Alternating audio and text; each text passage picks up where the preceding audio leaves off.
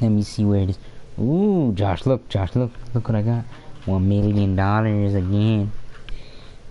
Oh. Yeah, I got a million dollars. What's good? okay, so, so how you get this a million dollars is you just have to log in.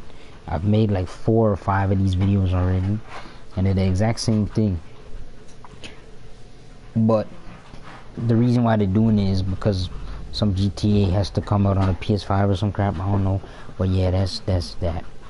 That's all you gotta do is log into the thing. It's not that hard. And basically, I just clickbaited you into getting me some views if you came and watched this, and that's about that. And peace out.